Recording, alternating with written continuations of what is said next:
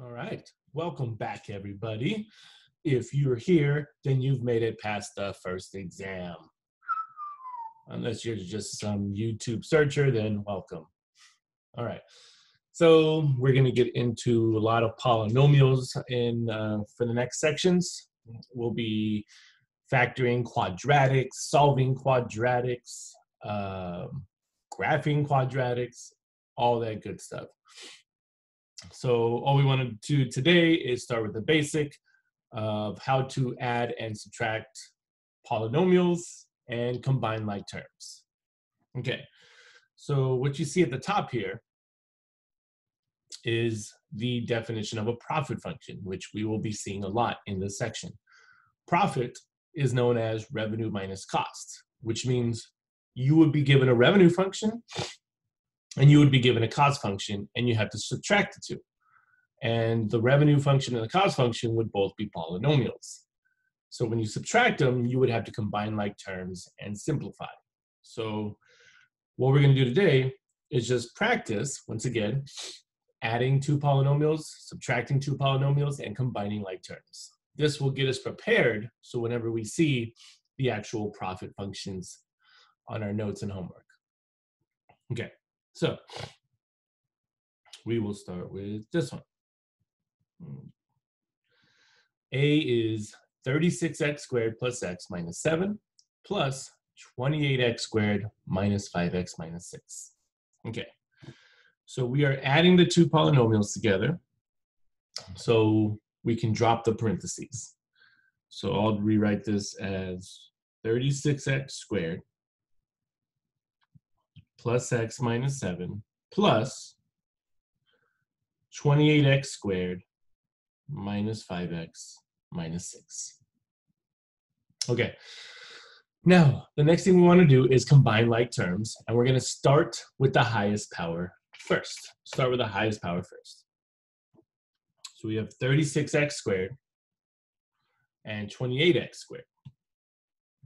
And 36 plus 28 gives me 64. 64x squared. Okay, and then we want to do x and negative 5x because that's the next highest power of x. x minus 5x will give me negative 4x. And then last is negative 7 and negative 6, which will give me negative 13.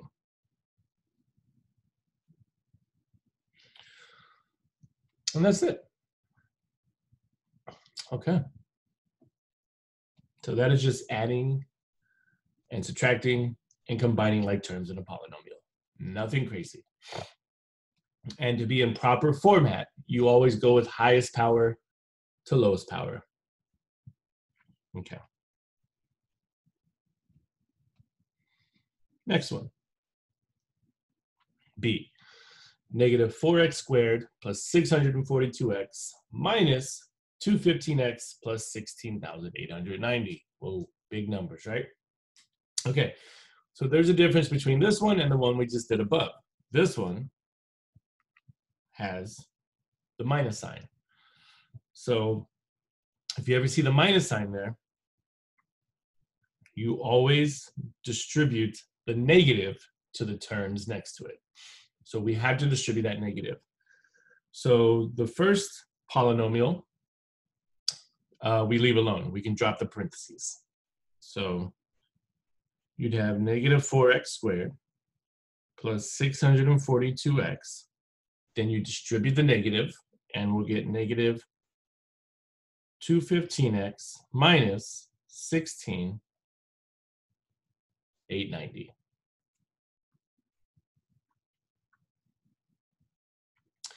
So now you distributed the negative.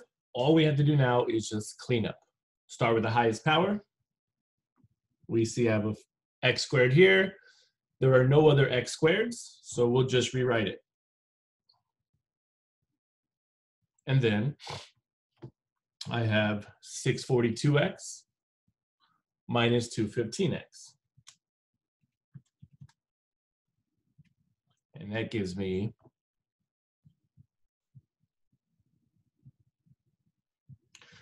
plus 427x. And then the last number is, there's no other numbers around, so we just rewrite it. Negative 16, 890. And that's it. Once again, the whole part of these notes, uh, or what these notes are about, is just to combine like terms, adding and subtracting polynomials, and make sure we are taking care of that sign. So watch your signs. When you distribute that negative, make sure it changes the signs of everything inside those parentheses. Okay.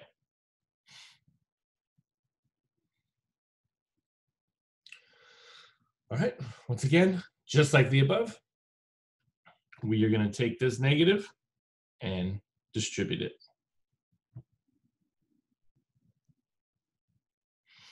First polynomial is fine.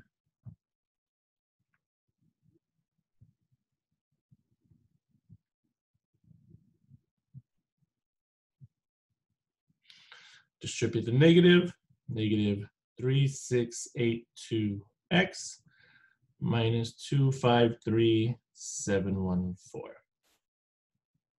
All right, so we have distributed negative. Now it's time to combine like terms. And once again, there's an x squared, but there's no x squareds anywhere else. So we'll write that below.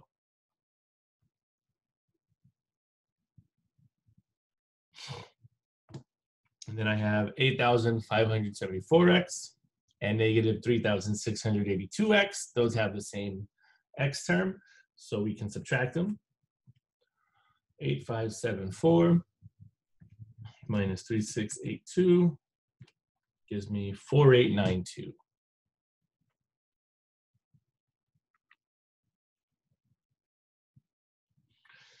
And last is the constant. A constant is a number without a variable. So last we get negative 25, 3, 7, 1, 4. If you want to put that in there. You put it in there. I didn't put in the ones above, but if you want to be proper, go ahead and put those commas in there. And there's nothing else we can do. And that's it.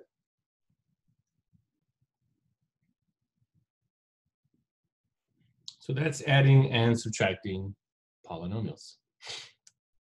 Go from highest power to lowest power, combine like terms, watch your signs, that's it. Nothing to it. Um, let me get into some definition over here real fast, because I think it might be on your homework. It's just the definition of what a polynomial is, right? To be a polynomial, all your exponents must be whole positive numbers, right? So to be a polynomial means I could have x. x is a polynomial because x is always to the first power. But we never write that one there because we know it's there. x squared is a polynomial. x to the 10th is a polynomial. Even x squared plus x plus 1 is a polynomial. So to be a polynomial, once again, your degrees, your exponents, your powers must be whole positive numbers. And another way to say whole positive numbers is to say positive integers. An integer is a number, it's a whole number, and if you are a positive integer, you are a positive whole number. But it's just easier to say positive integers. Okay, so that's what it means to be a polynomial. But then there's other definitions of what is a monomial? A monomial is a one-term polynomial. So a monomial would just be x. Or maybe I had xy. Or maybe I had what, x plus one? That's just one term, right? Well, I would have to put it like that. to make it one term. So that's a monomial. It's just one term by itself. And then we know we've seen this one. It's a binomial, right? It is a two-term polynomial. So a binomial would be something as I have two terms. So I can say x plus 1 times x plus 2. That's a binomial. So I have two terms. That's one term, that's two terms together. Okay. Uh, and then trinomial would be three, quadnomial would be four, so on, so on, and so forth. So, just some basic definitions to go over.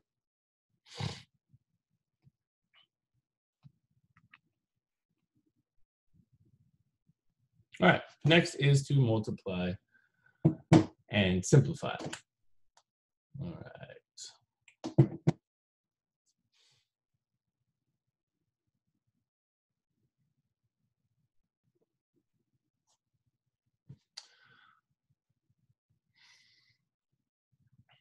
Okay. And for this, uh, for these examples, we're just going to be multiplying polynomials together. So to put the business aspect on it, we're going to be coming across something that is called the revenue function. And revenue is always given by the price times the quantity. And usually it's two polynomials multiplying each other. So doing these examples will help us get us, will help set us up to be successful in creating revenue functions. So revenue is always price times quantity. And then we'll come across something called the difference quotient function, which looks like this. f of x plus h minus f of x all over h. And this is going to use a lot of multiplying, a lot of substituting. Uh, it's going to use a lot of algebra skills that we have learned so far. Uh, but for now, let's just practice multiplying two polynomials together and simplifying. So we will multiply, combine like terms, simplify.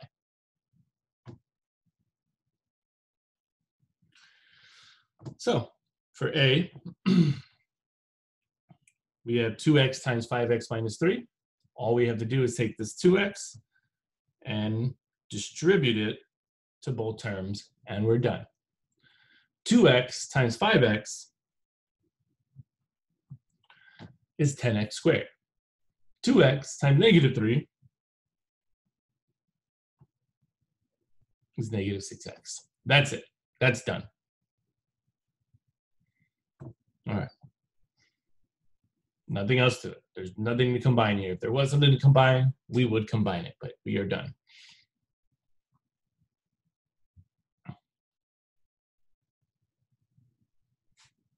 Okay. B, 4x minus 3 times 2x plus 5. We are multi multiplying two binomials together, right? So whenever you have the multiplication between binomials, there is a special process. It is your favorite F word. No, not the bad one. It is FOIL. We will FOIL this. So we use the FOIL method, which means you take the first term of the first polynomial and multiply to the first term of the second polynomial. So 4x times 2x gives me 8x squared. And then FOIL, the next letter is O. You do the first one with the outer one. So 4x times 5 plus 20x. So we are foiling this. And then I, you do inners. So inners with each other. Negative 3 times 2x, negative 6x, and then L means last the last terms of the polynomials, of the binomials. Negative 3 times 5, negative 15. Now, all we have to do is clean up.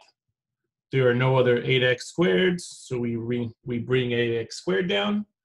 And then you have 20x minus 6x, which will be 14x minus 15. And that's it. Nothing else we can do. Now on the next section, we are going to start with this answer and put it back into that form. But that is on the next set of notes. We are going to be using another special F word. No, still not the bad one. We are going to be factoring in the next section. But for now, we're keeping it simple, right? We're just distributing, multiplying, combining like terms.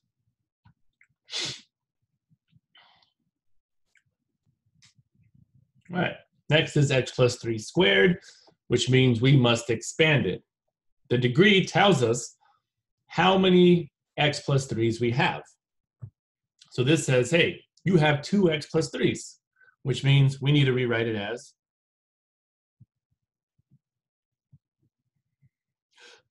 x plus 3 times x plus 3, because that is the same as x plus 3 squared. And now we will FOIL it again. So x times x, x squared. x times 3, 3x. 3 times x, 3x. 3 times 3, 9.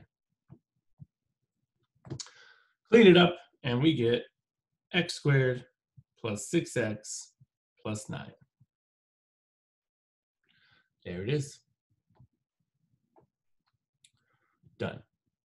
So whenever you have a power, that means you must expand it. It would be very wrong to say this, which is a common mistake. Do not do this. Don't, right? Here's don't. Rewrite it as x squared plus 3 squared, which gives you x squared plus 9. A lot of students will do this. They're like, well, it's just x squared and it's just 3 squared. So it's got to be x squared plus 9. The only issue with that is it's not because compare this answer with that answer. And what are you missing? You're missing that middle term of 6x. So do not make that mistake. That would be incorrect.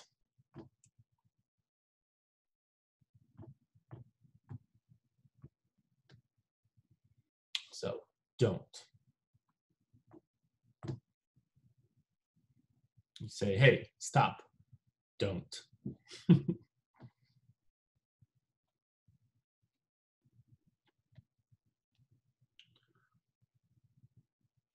right, just like the above, a minus b squared means we have two a minus b's, which means you have a minus b times a minus b. Now FOIL it. Yes, I know we are foiling letters, but it's all about practice, right? a times a, a squared a times negative b, negative ab. Negative b times a, negative ab. Negative b times negative b, positive b squared. Combine like terms, no other a squareds, and negative ab minus negative ab means negative 2ab plus b squared. That's it. All right. And then f, a minus b times a plus b. So it's already set up for us. So again, we will FOIL. a times a, a squared. a times b, AB. Negative B times A, negative AB. Negative B times B, negative B squared. Combine like terms, A squared comes down, and now positive AB minus AB, those will cancel. So that just leaves us with A squared minus B squared. All right.